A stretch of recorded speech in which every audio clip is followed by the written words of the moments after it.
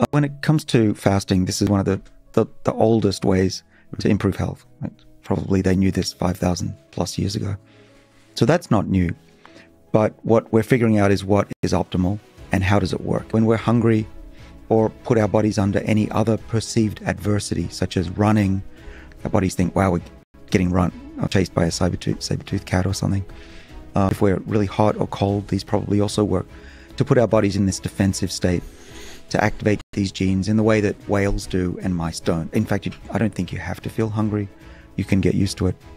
But if there was one thing I would recommend to anybody to slow down aging would be to skip a meal or two a day.